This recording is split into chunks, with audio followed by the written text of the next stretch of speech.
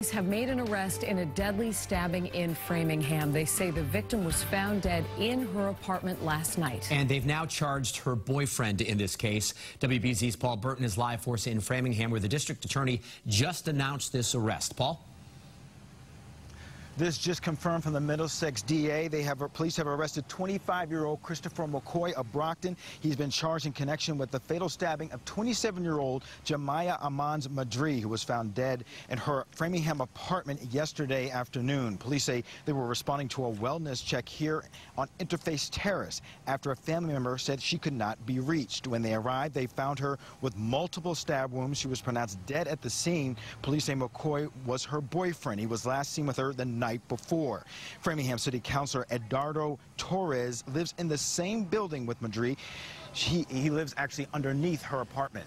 Here's what he had to say. She was a really um, friendly young lady.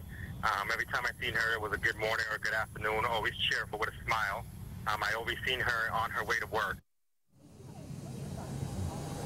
McCoy was arrested last night in Boston. He's being held behind bars tonight. His arraignment will be at a later date. You can imagine this community has been on edge all day, trying to wonder how this all could have happened. We now know arrest has been made. Reporting live in Framingham, I'm Paul Burton, WBZ News.